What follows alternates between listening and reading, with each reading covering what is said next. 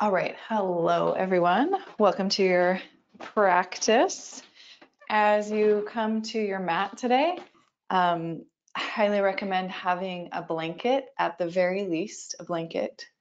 Um, if you do have something that works like a block or blocks at home, you can grab that. So like um, couch cushions, pillows, a stool, a chair, blocks themselves, of course, hardback books. So just getting creative as usual with what you have around you um, and that blanket. That's what I'd like you to have. So you're gonna start out. and if you if you need to take a moment and come back, we're gonna just start out on our backs with one of our props underneath the sacrum, so the back of the pelvis. And so we'll be here for a few moments and you're grabbing those props and coming back. This is where you're gonna meet me. So I'm bending my knees and planting my feet. I'm gonna shrug my shoulders down my back and settle in here for a few moments of just stillness.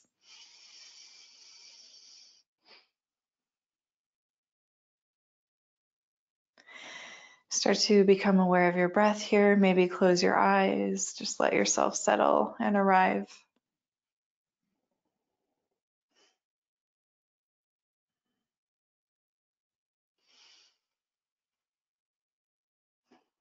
Start to feel the weight of the pelvis on whatever you're resting it on, whatever prop you're using. And just a key differenti differentiator, it's not the low back that's resting on this prop, it's below the low back, the sacrum. So the back of the pelvis. Let's take about three breaths here.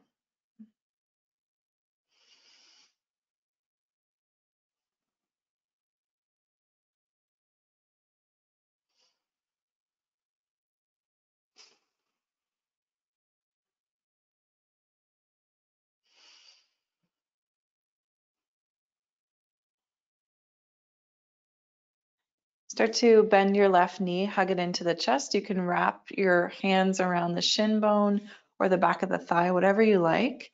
So with that left knee hugging into the chest, we're going to extend the right leg out long. Just give it a little lengthening to the right leg, a little squeeze to the left leg. Deep breath in, deep breath out. And then we'll switch sides. So the right knee will hug into the chest, the left leg will go long. If you can, left heel to the mat. And if that's not happening, then you can always just keep the knees bent. So whatever leg I'm saying to extend, you just keep that knee bent and the foot planted. We're just gonna go side to side here for a few moments. So hugging the left knee back into the chest, extending the right leg long if, if the low back can handle that. And then just start to find your own pace and your own rhythm, switching sides.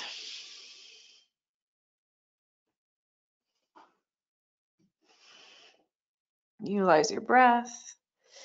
And take a moment to pause and squeeze, hugging that bent knee thigh in towards the belly. Lengthening out through the opposite leg. One more time to each side. And so we started hugging the left knee into the chest, so we'll end by hugging the right knee into the chest. And then we'll release both feet to the mat, knees bent. Just take a moment again, pause here, the weight of the pelvis on your prop. So today our focus will be, actually for the next few weeks, we're going to be focusing on back bends. And so we're just prepping things like hip flexors, hamstrings, glutes, low back um, in preparation for that. Press down into your feet, lift your hips up, move that prop out of the way. Tucking your tailbone under, release the low back and the tailbone into the mat. And then hug your knees into the chest. Apanasana. You can wrap your hands around your shins, your knees, whatever you like. And just give yourself a little rock side to side.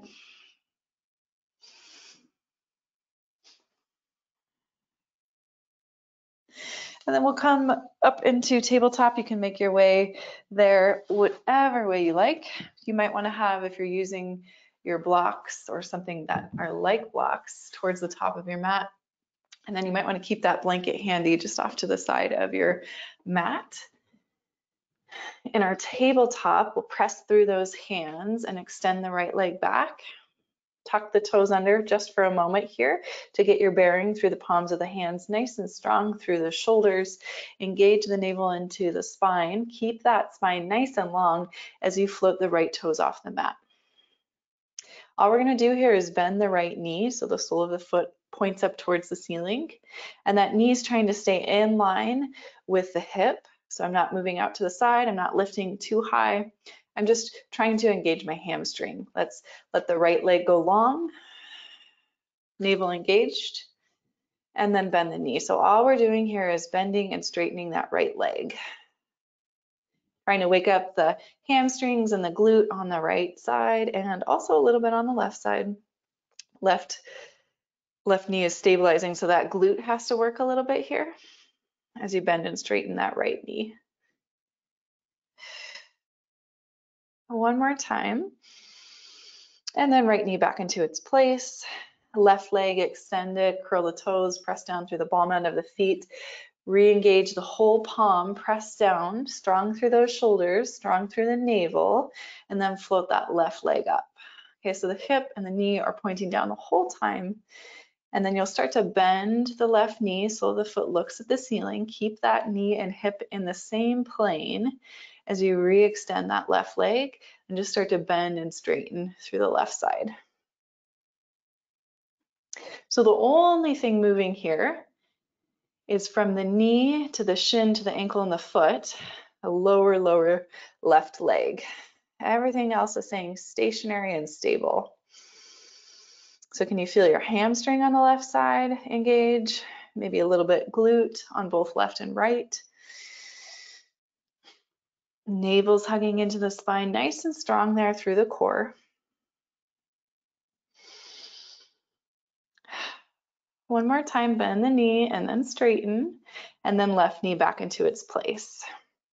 If your wrists need a little break here, you can come take a seat back on the heels, roll out the wrists, you can shake them out. And then when you're ready, we'll meet in a downward facing dog, Adho Mukha Svanasana. It's really important to get that palm print firmly rooted into the ground. Engage your fingertips here, engage through the knuckle mounds as you curl the toes under and lift the hips up and back. And just take some time to explore your downward facing dog. Relax your head, find your breath here, reestablish the firm foundation of the hands. Chest starts to press back towards the thighs. Head relaxes, the whole spine lengthens. And sometimes to keep that length through the spine, we need to bend the knees a lot or a little. That's always welcome.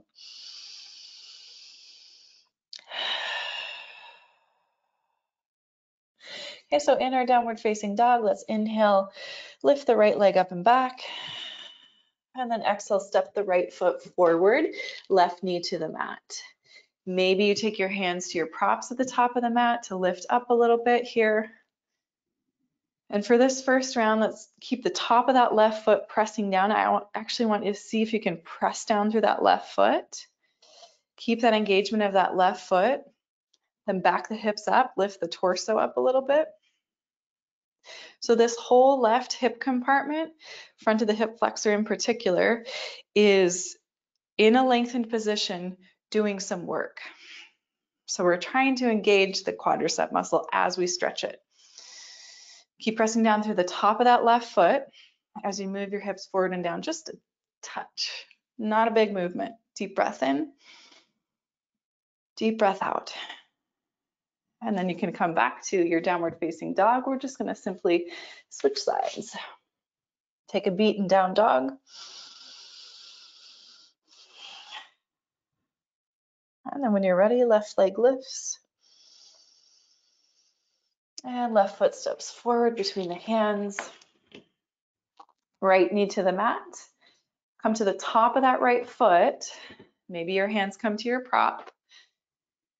And I want you to actively press down through the top of that right foot. So the back of the foot is engaged. The whole back of the foot is engaged. And then the hands can come up to the thigh. You can back up through the hips a little bit lift up through the torso and think about this right hip flexor, right quadricep it's really active. It's actually doing a lot of work in this stretch position. Find your breath here. So in almost every single back bend we do, we need to lengthen the front of the thighs and the hip flexors and engage the hamstrings and the glutes. So that's what we're working on right now in the beginning of our class. Let's bring the hands back. We'll come back to downward facing dog. Take a moment here, breathe.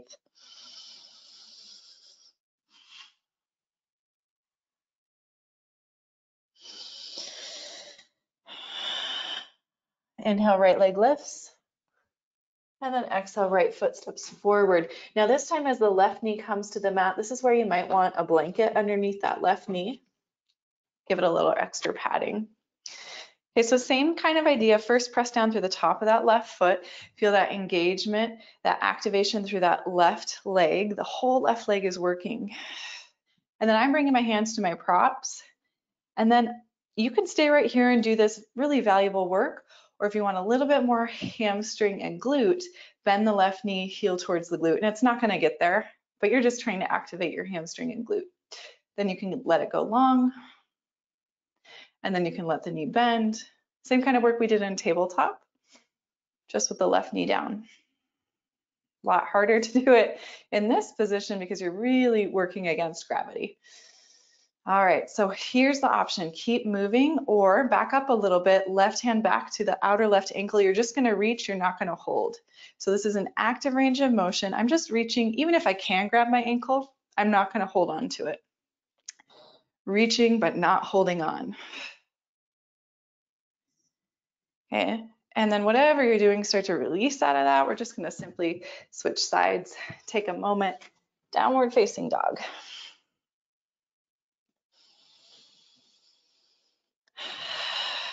If that hamstring cramps up on you, probably sticking with a dynamic movement instead of the static hold will be better.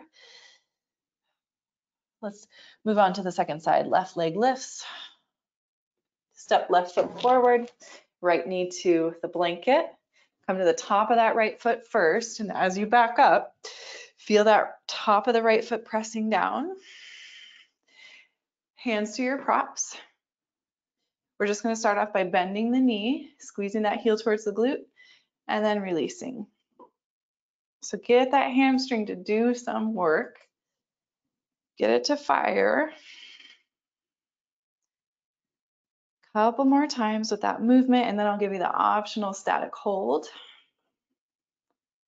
without actually holding on to anything. okay, so I know it's unsatisfying, but it's really important to teach the muscles how to work. So the knee is bent if you're taking this option. And then the right hand's reaching back, but it's not holding on to anything. It's reaching back like as if it were gonna grab the outer ankle. Okay, so my palm is facing the ankle, my thumb's pointing down, and I'm just reaching back. And if you have that or whatever you're doing, start to release out of it. Downward facing dog. You can move the blanket out of the way. Whatever props you have at the top of the mat, if they're on your mat, you can move those out of the way. Three breaths here, downward facing dog. We're gonna flow a little bit, move some blood flow, circulate some energy throughout the body. We're gonna take about three rounds of Surya Namaskar A with some locust pose or belly down back bends in Sanskrit we call locust shalabhasana. So you'll hear me say that a few times. From down dog, lift the heels, bend the knees, begin to make your way forward, top of the mat. When you get there, inhale, halfway lift, use that core. Exhale, fold. Press through those feet, stand all the way up, reach up. Mm, exhale, pull your elbows wide. We're going to rotate off to your left hip, elbows wide. So see if you can keep the hips pointing forward. You're just rotating the upper body. Inhale back through center, reach the arms overhead. Exhale, elbows wide, Rotate the torso towards the right hip, but keep that right hip pointing forward. Inhale, arms overhead, back to neutral. Exhale, forward fold. Inhale, halfway lift. Exhale, plant the hands, step back to high plank. Just take a moment, pause in high plank. And then we'll set the knees to the mat. We'll come all the way down to the belly. Okay, so Shalabhasana or locust, hands alongside the body, palms face down, tuck the chin and rest the forehead. Lift and hover the right foot, stretch it back. Lift and hover the left foot, stretch it back. Keep that. Lift the chest, reach the crown of the head forward. Keep pressing down through the hands. So feel the shoulder blades squeeze together. And can you feel the action of this lift coming between the shoulder blades, not the low back, and the glutes and the hamstrings? Let's bring the palms underneath the shoulders. Let everything go. And we'll make our way up to downward facing dog. So for today, We'll utilize Shalabhasana, some locust pose variations for our back bend of choice when we come to the belly. Take one more breath in downward facing dog. Lift the heels, slight bend in the knees. Make your way forward, top of the mat. Inhale, halfway lift. Exhale, fold. Press through those feet, stand up, reach up. Exhaling elbows wide, hips stay forward, rotate the torso towards your left. Inhale back through center, reach up. Exhale, elbows wide. So rotate the upper torso towards your right, hips stay pointing forward. Inhale back through center, reach up. Exhale, forward fold. Inhale, halfway lift. Exhale, plant those palms, step back, high plank. Just give yourself a moment to breathe in high plank. And then set those knees down, come all the way to the belly. Set up for second round of Shalabhasana Locust. Tuck the chin, rest the forehead, hands alongside the body, palms face down. Inhale, extend the right leg, float it, reach through those toes, add the left leg, Lift the chest, squeeze the shoulder blades together, and this time float the hands off the mat. Turn the palms to face one another and give those shoulder blades a squeeze in towards the spine. Palms underneath the shoulders, release the legs. Press up to downward facing dog. Three breaths here.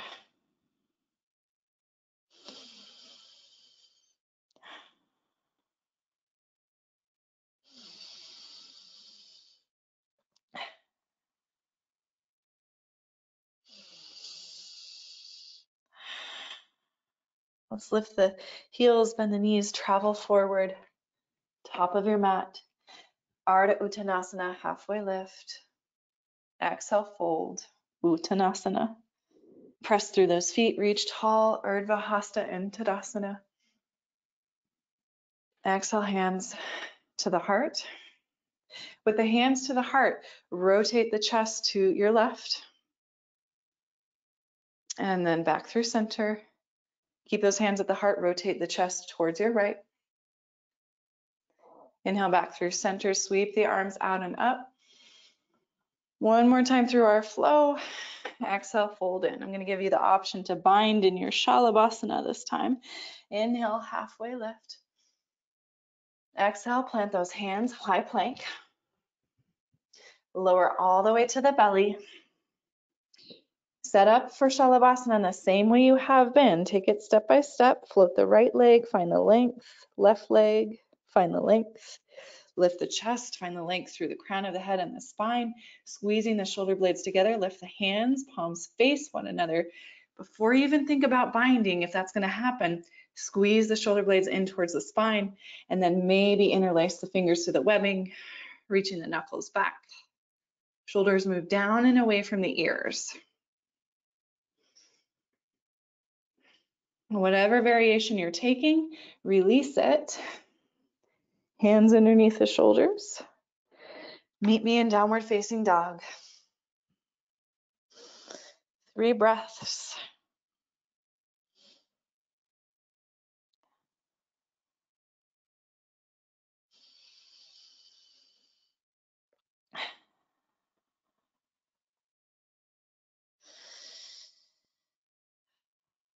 All right, this time we're going to shift forward to high plank. And then just take a seat on your knees. I just want to demonstrate this round first. And also I want to mention that the direction we're going towards um, Dhanurasana bow pose, it might actually be nice to, you can use what you've got. You can use your props such as your blankets, right? You'll fold them up kind of like so. But if you have a couch cushion handy, maybe grab that too, because that might come in handy in a little bit. So we're going to meet up in Sphinx. So we'll come all the way down to the belly, elbows underneath the shoulders or forward of the shoulders. This is Sphinx. We'll take this step by step. We're just going to do one leg at a time. Uh, so Ardha Dhanurasana, half bow. I'm going to take my right forearm and kind of angle it across my mat. And then I'm going to bend my left knee. So right forearm, angling it across my mat, bend the left knee and then reaching back with the left hand, maybe you bind the hand to the outer ankle. Okay, so I'm intentionally reaching back, hand to outer ankle, thumbs pointing down towards the floor. If I've got that bind, I'm going to turn the left chest forward towards the top of my mat, press the floor away with my right forearm, and kick the foot into the hand. If you don't have the bind, here's your work. You're just reaching back and kicking the heel to the glute. So same thing we've been practicing this whole class. It doesn't need to change now.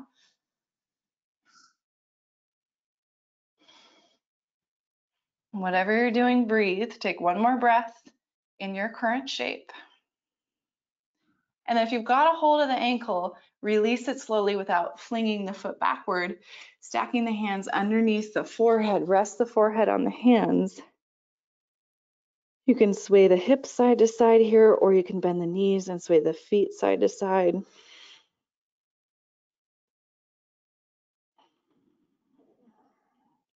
So if you're feeling this in your low back a lot, I want you to back out 50%, try 50% less. Think about engaging the glutes and the hamstrings. Think about squeezing the shoulder blades together Think about tilting the pelvis, the tip of the pelvis, so the tailbone, towards the back of your knees. So you want to keep the length in the lumbar spine. Let's try the second side. So come up to elbows. Left forearm centers kind of like diagonal across the mat. Bend the right knee. And then reach the right hand back. Okay, so if the ankle is there within hand's reach, you can grab the outer ankle with the palm of the right hand. And then you'd be turning your right chest forward. So you're kind of angling your shoulders forward towards the top of the mat and then kicking the foot into the hand, pressing the floor away with that left forearm. Think about tip of the tailbone tucking towards the backs of the knees. So find length in the lumbar spine.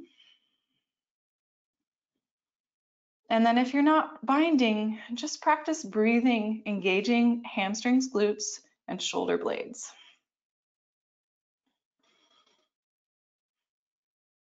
Wherever you are, start to release. Take a moment, hands stacked, forehead resting. Give your hips a little wiggle side to side.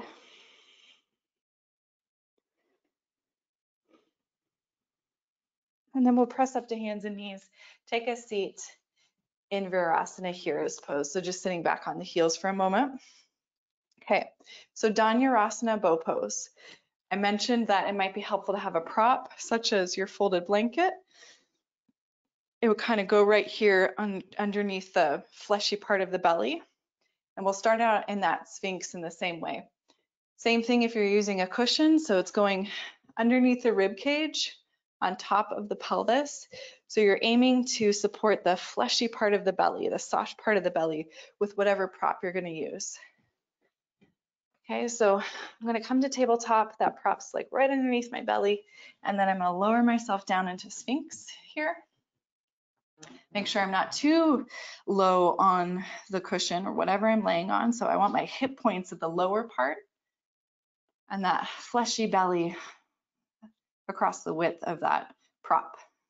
First start off by bending the left knee. Left hand can reach back. If the bind is there, go ahead, take it. And then you can just work one side at a time if you're not binding. But if you are binding, kick that foot into the hand, bend the right knee, reach the right hand back, grab the outer ankle,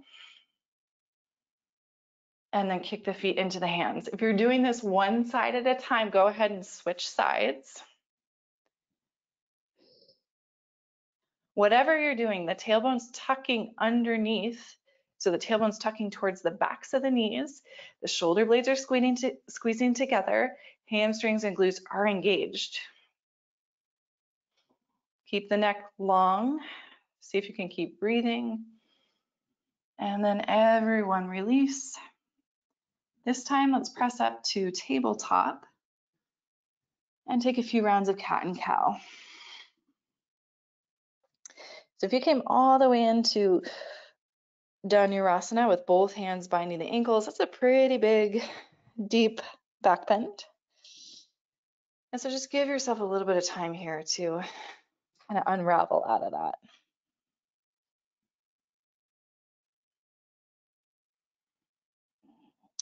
One more cat cow. And then we'll do a nice little forward fold passive release with some hip work. So I'll give you the option for pigeon. We're gonna send the right knee forward towards the right wrist. Option to extend that left leg back long or roll all the way to your right hip and bend the left knee deeply. And then you can fold forward over that right shin or the right knee. Just be mindful of how much pressure you're putting on the right knee. So if the hips can square towards the mat with that left leg extended, then sleeping pigeon's probably okay with that left leg extended. Okay, if all of your weight's kind of pressing down on that right knee, then I recommend bending both knees. Left knee kind of sneaks up behind the right foot. If you still have your props nearby, you can gather them underneath the chest and fold over the front of your mat.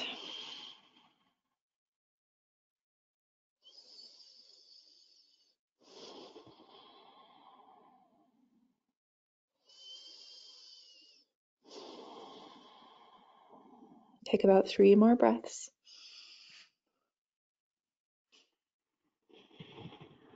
So now we're kind of counterbalancing all that work we did to strengthen glutes and hamstrings. Now we're lengthening, in particular, probably mostly glute for, for most of us, and outer hip.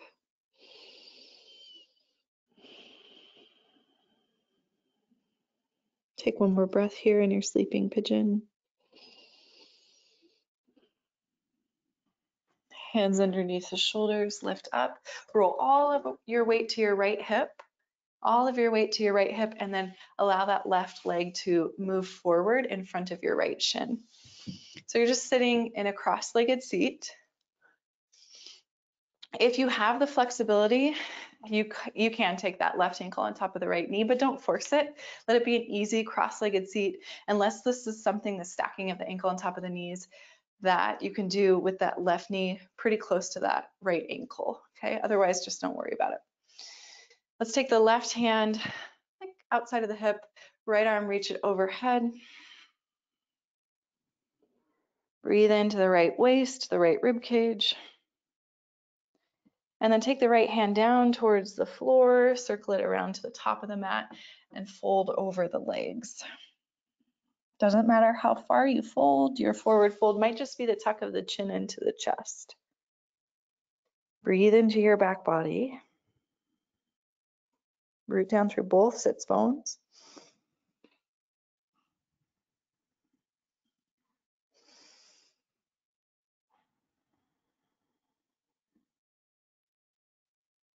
And then with the shins crossed, let's come forward, tabletop. We'll set up for the second side.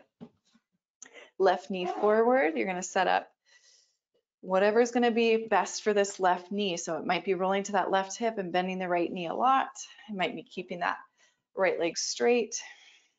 When you're ready to fold over the front leg, shin or knee, maybe you're taking a prop with you.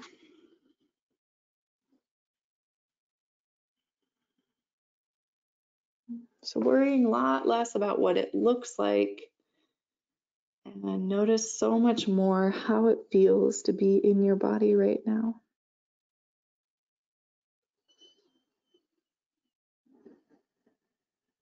Take about three more breaths here.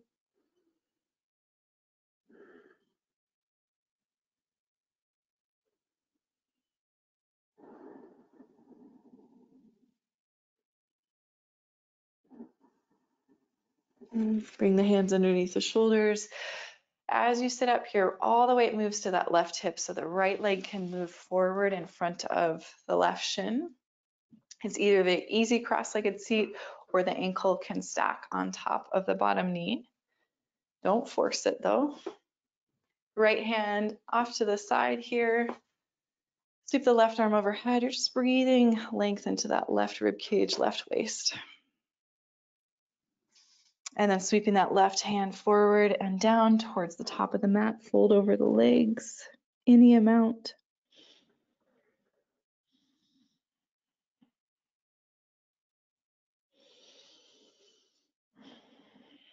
Take one more breath here. And then we'll start to unwind on our backs.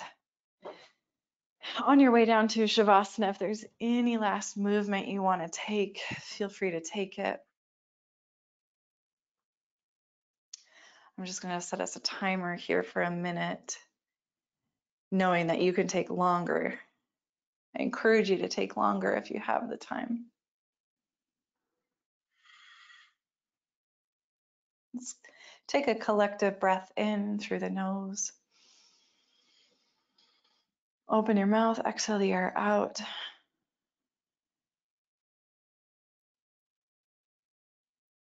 Eventually settling into your stillness, into your Shavasana.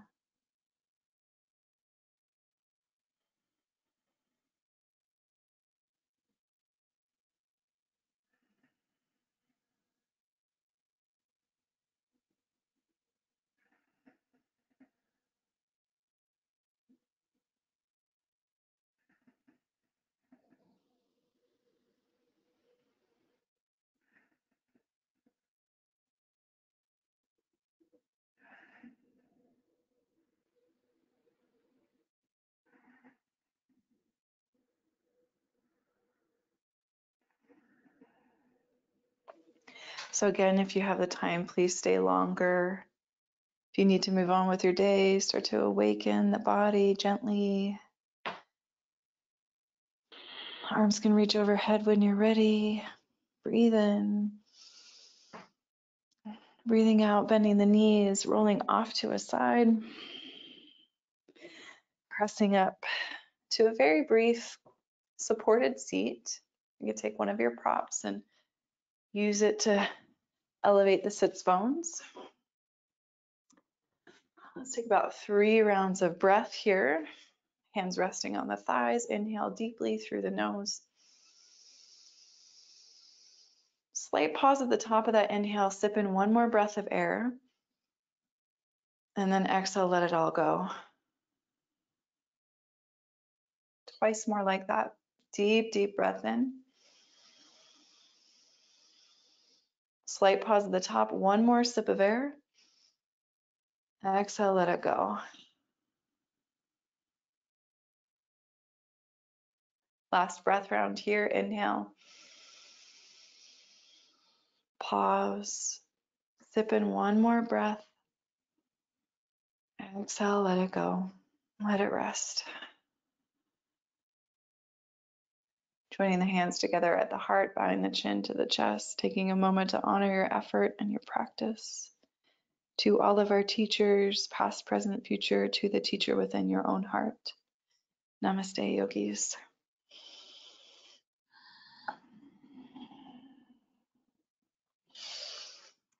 All right, everyone, thanks for being with me today. Hope you enjoyed. Take care of yourselves and come back again soon.